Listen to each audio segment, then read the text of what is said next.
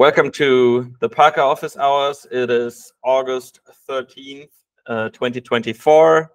We are alive and happy. We have a lot of new releases and uh, features to talk about, which is super exciting because the last couple of months kind of actually were quite quiet.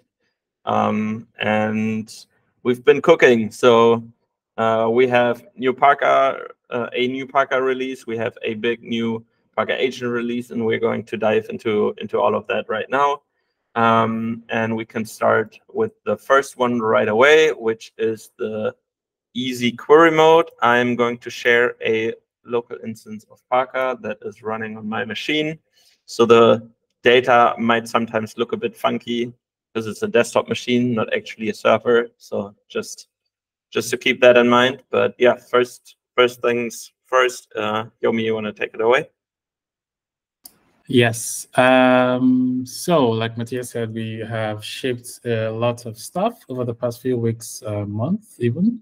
Um, and one of the first things is the simple query mode, um, which is now on 0.22 uh, so you can check it out. But the idea here is that we previously had only the freeform method. So if yeah, if you go to the advanced mode, yeah, we had the freeform method where you could like you know type in um, stuff. You can you know do some regex um, and you know just basically use your keyboard to like type in stuff and do some querying. But then we also had feedback that um, some people might prefer a a mode where it was easier to like easily select stuff around instead of just typing. Um, so basically that's what this is about. Um, you know, you get to type in your label names, type in your label values. You can add as much as you want, um, as much as you want. And that's the idea behind the simple query mode um, right now. And of course, like if you select anything in the simple query mode right now, it also like automatically reflects in the in the advanced mode too. So that's that's pretty nifty. Um, and of course, like you know, everything here is as usual is persisted in the URL. So if you're sharing your um, your your link with someone, it still persists in the URL. So that's that's not about the the simple query mode. Uh, next on the queue is the sum by labels, which um, is already in, in effect here. So if Matthias, if you just close that and do a search again.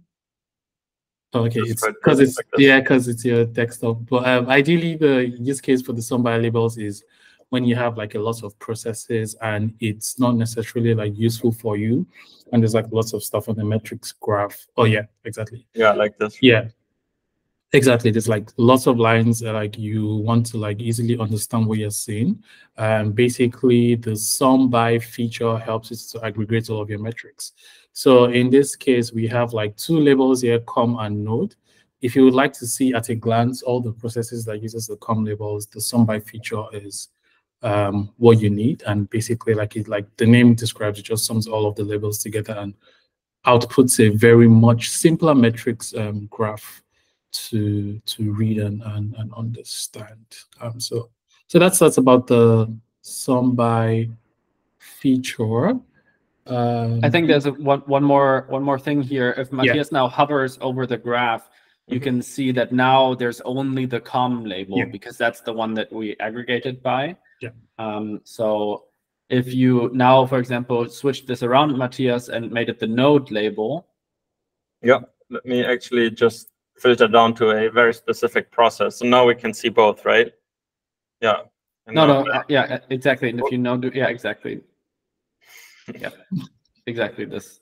And now you'll only see the node node yeah. label. So if we have many many nodes or many processes, it's squished down to those yeah. um, dimensions.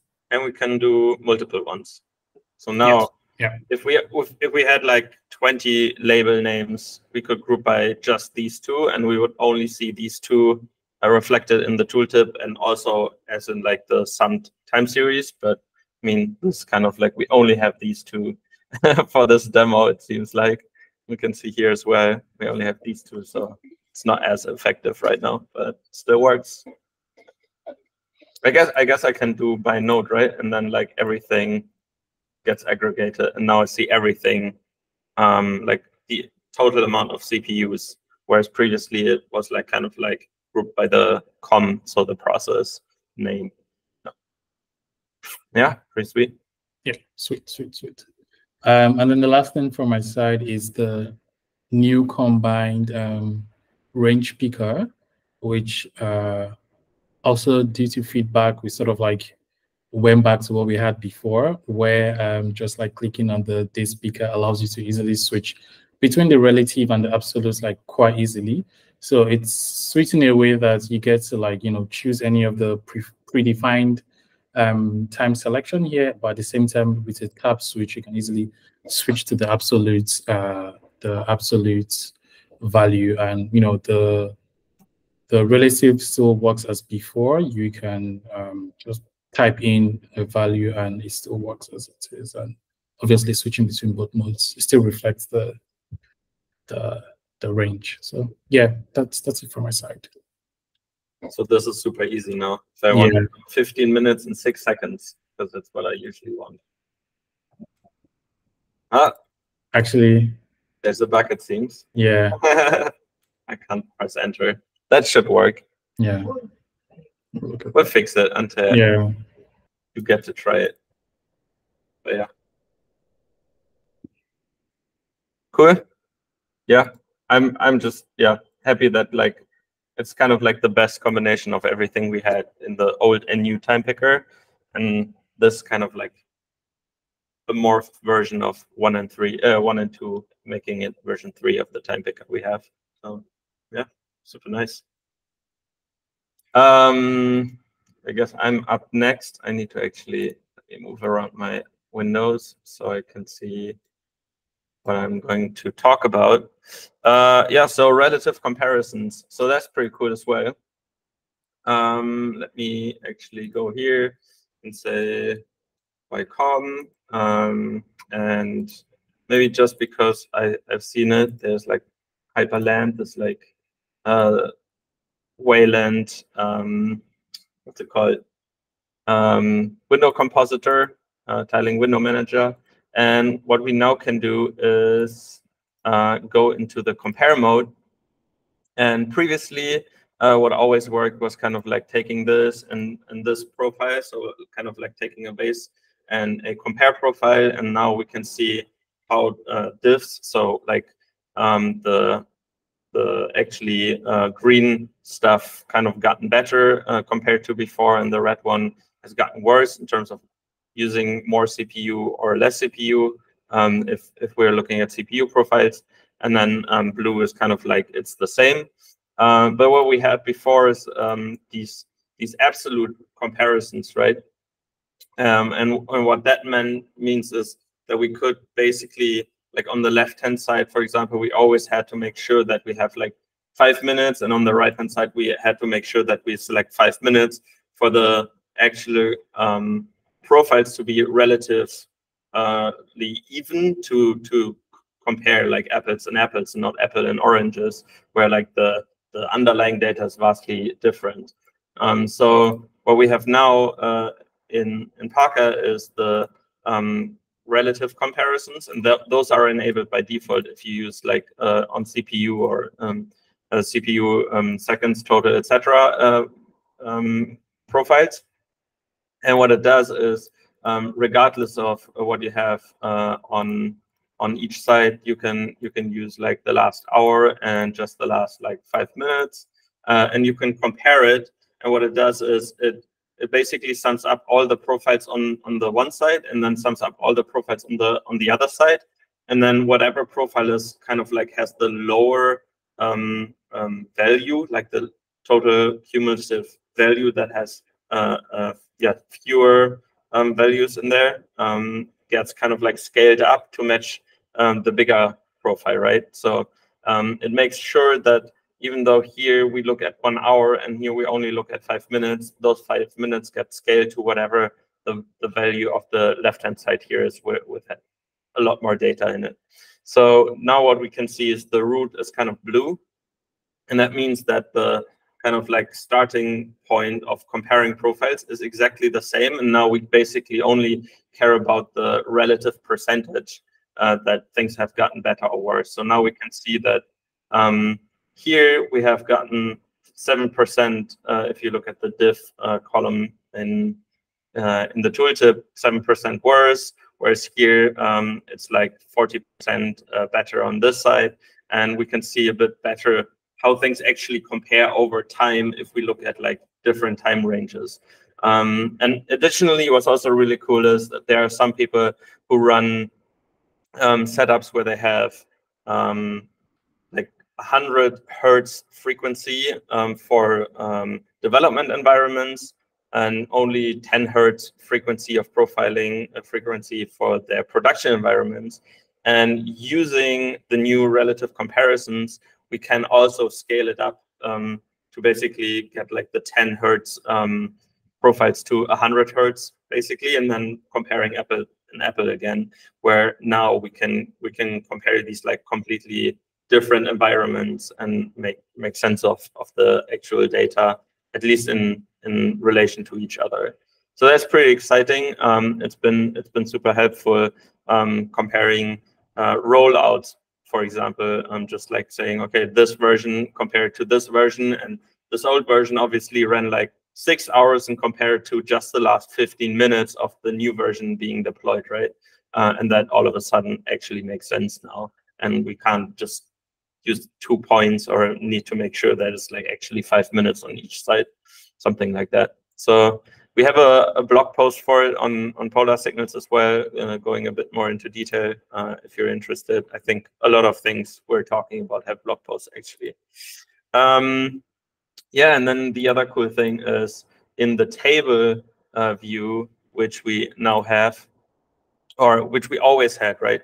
Um, we now have it a bit more interactive, where we can say, um, for example, we we want to see where um, let's just filter by by the flat value, and now we we see okay this this is taking like the most uh, time in our uh, program, and now I can click on it and I can see everything that is calling that specific function. So here we see the function itself, and above we see the uh, callers, and below we see the callees. Um, so we can we can basically see that, for example, um, this one is I don't know, it's recursively calling itself. It's looking like, um, and it actually comes it, it gets a lot of uh, calls from from this function for example. So my Radeon driver calls this function to do some stuff and we can we can kind of like similar to how we how we can go deeper down into flame graph and make sense of, of things. We can now go go up by clicking on the on the on, on the callees uh, or go down clicking on the on the callers not the other way around but you get the idea um, so we can kind of traverse this table a bit more interactively, which is which is super fun and super useful as well. So yeah, like this one, right? Like malloc. Where where where do all the calls come from that call malloc, for example? So uh, we can see can see this one here, for example, um, doing a lot of malloc operations. So it kind of like shifts things around a bit, uh, makes it just more explorable in a different way. Um, yeah, and I think think that's it. Um, heading over to Frederic.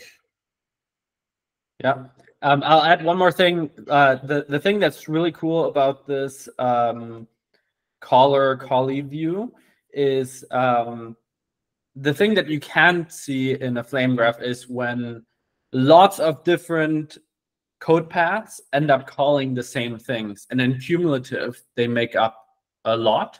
And this is something that this view um, allows to do. So I think the malloc example here is, is yeah. super interesting, where let's say you can now do a merge across your entire infrastructure, and you can see where all the malloc calls are coming from across the entire infrastructure, right? And which ones go. are the malloc calls across the entire infrastructure that you should be optimizing.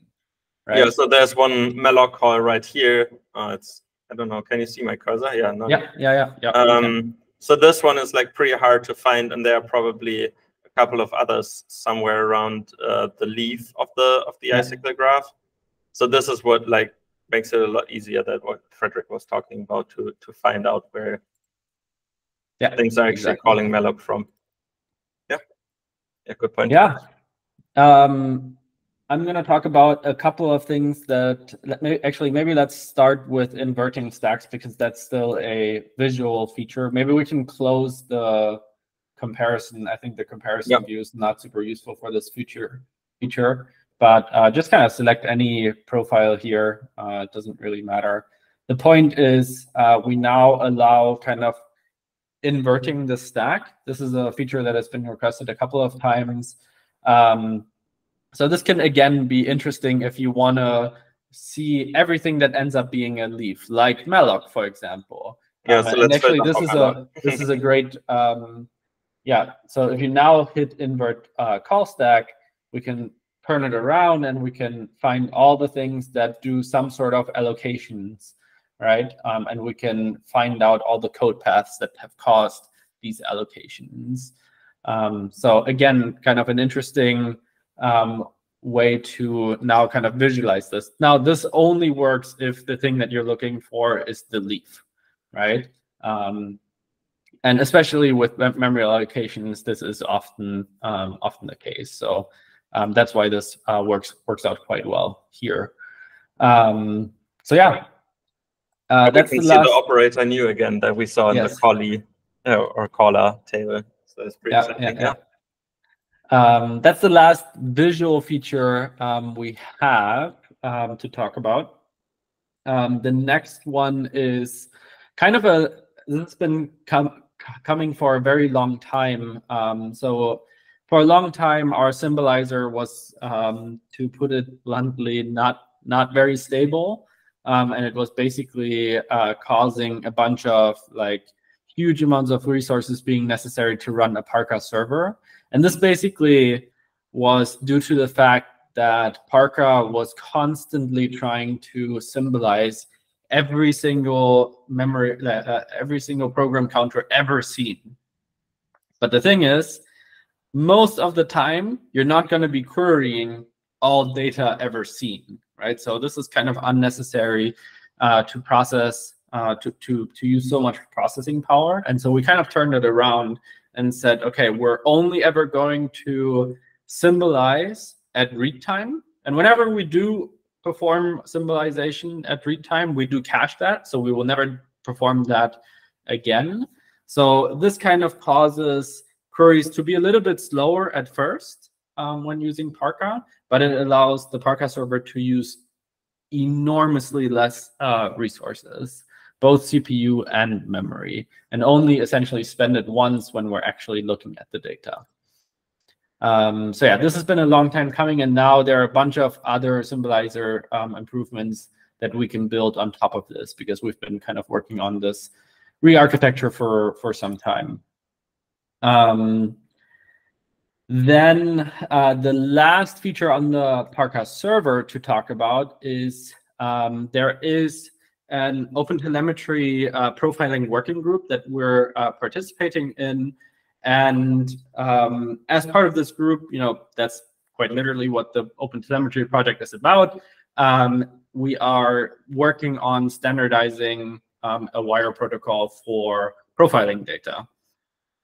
Um, and uh, we basically have implemented the most up-to-date version of the experimental protocol that's currently specified. Um, now, there's a huge caveat here, which is last Thursday, it was decided to basically rework this entire protocol again. Um, so what we have today in the Parca server um, is what is at this point still the most up-to-date version of the experimental um, protocol, but it's bound to change very dramatically. Um, so that's a huge um, asterisk to keep in mind here. Um, but we do plan to always keep up to date as much as possible with this, um, because as we as we know, whenever these things do get specified, a lot of people do request support for it. Um, yeah, that's that's pretty much it on the Parca server. Actually, there is kind of something that is on the on the same same lines. um, and it's something that's that both went into Parca Agent and Parca Server, which is we've actually implemented also a new version of our own wire protocol that now directly uses Apache Arrow um, to both build um, you know the data that's going to be sent off to the server on the agent um, and then the server can completely ser serialization free insert this data into the database so this whole process essentially is about reducing the amount of bytes that end up on the wire, uh, reducing the amount of CPU time that need that is used to both build and process the data. Um, and then ultimately, because there's it's completely serialization free, there's actually also some kind of memory pressure um, improvements here. So basically, on all dimensions, uh, this again improves um, the interactions between Parca and Parca agent. That's pretty much it uh, from the um, Parca server. I don't know if um, Tommy or Brennan maybe want to talk about uh, the changes on the agent, or um, if I if you want me to continue on that. Um, you can continue if you want. Okay. Yeah, you can say it. Go ahead. All right. Um, I'll let you take uh, the what's next uh, section then. Um, so uh, the big big announcement is um, basically um, there is a new project on uh, the OpenTelemetry pro uh, project uh, that is also an eBPF-based profiler. And long story short, there are lots of similarities between the Parca agent and this project. Um, the project itself is intended to be much more bare bone. Um, and there are a variety of companies essentially both contributing to this as well as consuming it as a library, exactly the same way as we are now with Parca Agent. So for Parca Agent users, this actually doesn't really mean very much. Um, it's basically all internal. Um, but uh, with this um, kind of merger of efforts, um, you know, we can all kind of pull on the same strings and um, in addition to you know C, C++, Rust, Go, Ruby, and Python support that we previously already had, um, we now also gain JVM support, .NET support, Perl support, and PHP support. Um, so yeah, um, again, basically like for for the Parca agent binary, basically nothing changed. The same flags exist, the same manifests work. Um, it's basically a no-op, but uh, folks got a huge amount of uh, language support added. Um, yeah. Um, in addition to that, um, one thing that kind of changed with this release of uh, Parca is the metadata that we're adding to profiling data. Previously, we kind of took all the metadata we could find um, about uh, this process, for example, and we attached that to the profiling data. Um, and that worked uh, really well, but we also found that for a lot of people, this was quite overwhelming because we're literally adding everything we could possibly find. So now we kind of turned this around and basically implemented the same thing as it is practice in the Prometheus ecosystem, um, and we've implemented relabeling. So basically, all this metadata that we previously added automatically are now meta labels um, that you can basically choose to add to the profiling data or not. And you can call the, the label names whatever you want. Um, you can pick and choose the labels that you're actually interested in um, so that you, you know, can get the metadata that actually is meaningful to you and your organization. Um, yeah, I think that's pretty much it. Um, there are a couple of awesome features that we are working on integrating into this um, new agent. Um, and Tommy and Brennan can maybe talk about um, those features. Uh, yeah, I can go first, I guess. So um, the biggest ones um, from my perspective are uh, we're adding support for getting um, arbitrary uh, custom labels in Go programs. So essentially, uh, Go has an API that um, for pprof support lets you set uh, whatever labels you want to whatever strings you want, and then they show up in your um, you know, if you use like the typical Go pprof tool, then they uh, show up in the profiles there. So we're adding support for that um, to our agent, and it should be in the uh, next release.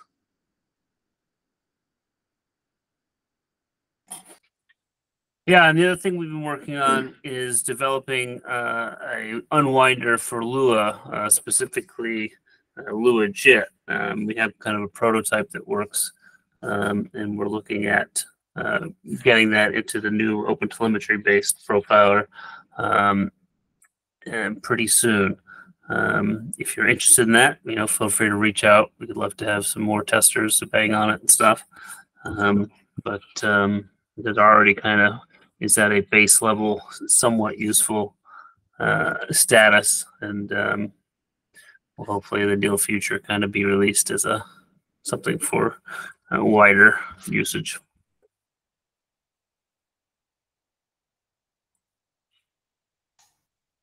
Super cool. Awesome. I think, Matthias, that's everything we have for today. Yeah, that's right.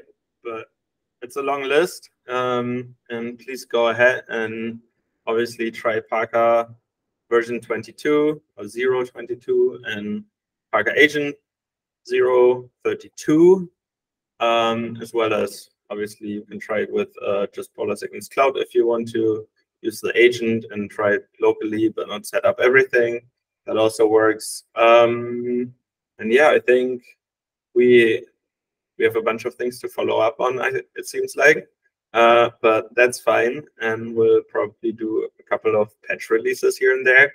Um, and I think we're far from done, as Tommy and Bren just uh, talked about. So yeah, I think we will be back with another Parca Office Hour in a month at latest, maybe in between for Asia and Pacific time zones. Um, and hopefully we have more things to to discuss and push up. Then I hope everybody has a wonderful week and enjoy your local time.